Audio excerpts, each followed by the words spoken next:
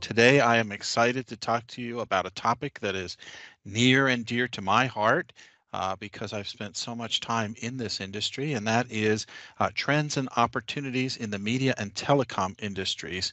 Uh, and I am super excited to have Scott Campbell, uh, SAP uh, exec industry executive advisor for media and telecom. Scott, uh, welcome to the webcast. Hey, John, thank you. The largest media and telecom companies in the world run SAP because of our end-to-end capabilities, but also because we are an open and agile platform to integrate with literally any other technology. So we do this through a foundational um, piece called the Business Technology Platform, which helps you develop apps, it helps you automate and integrate your data to use insights and leverage automation to do things that would previously either just never have been done or that they had to be done manually.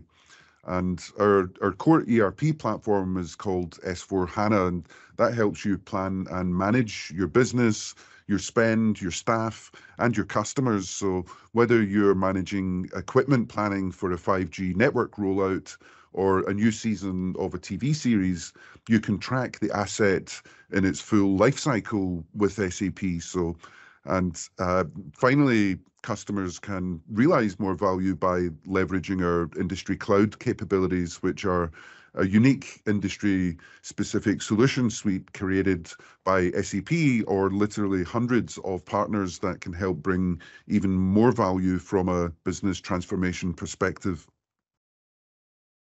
Right, and and what's what's truly amazing about SAP is, of course, you are we or you offer this in um, not only a, a, a you know the traditional private cloud environment, but SAP is investing a tremendous amount of effort and money into uh, the public cloud. And really, I think we a lot That's of customers underestimate uh, even the existing power of uh, the core in terms of capability around public yeah. cloud, but also the everything interaction, this, right? Totally. Yeah. Everything on this screen is available in our public clouds. Um, so it's not, again, a, a, a, heavy lift for companies. We actually have companies as small as $18 million in revenues. Wow. Um, that are running this platform uh, as they grow very quickly. Some of these are very high growth companies.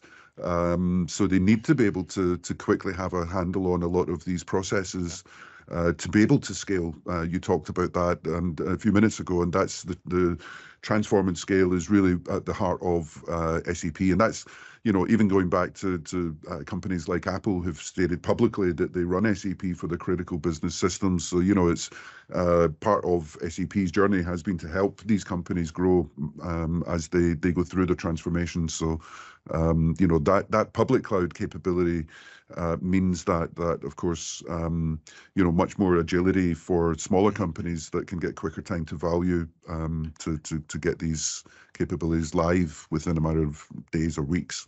Right, and be, because you have we have the the business technology platform, the BTP, um, that allows for those different integrations. You can start small by focusing on the core, your um, finance, for example, and maybe put a put your human capital management and focus on the core while allowing you to integrate some of the other either proprietary or historical applications to allow you to quickly take advantage of the power of SAP in the public cloud, but then have a, a vision for a roadmap similar to, you know, obviously one of the, the customers we're starting to work with, right? Yes, and, and absolutely. I mean, that's that's where I, I, I love working with Bramasol and these kind of things because you guys have got so much experience working with some of these big customers in fixing these kind of problems and you can bring that knowledge uh, to other companies to help them uh, you know fix these kind of challenges. Um, but you know the, the the the bottom line is that uh, as you say they'll have um, you know the legacy let's call it systems that they're running. Some they may have built themselves uh, you know, when there were smaller companies just to do certain functions. And uh, of course, as they grow, they know that those systems are are critical business systems, but uh, but they, they weren't necessarily designed for the scale that they, they now are at. So, you know, we can absolutely help um, with with Bramasol as well, of course, being the the the, the real uh, partner in the middle of that that can help them understand Mm-hmm. what needs to happen to get through that uh, vortex. There you Um, go. But but you know we've we've done it with so many customers, John. That's the, the great thing. I know Yep. I, I can be on this call with confidence, knowing that Bramasol's one of those companies that that that actually, and we won't mention any names, but you know you guys are the the the SES in this area that you come in and fix. Uh, you know these kind of problems are parachuted in, if you like. So uh, so I know that you you know of all companies have have these capabilities figured out. Yeah, well, thank you. We do.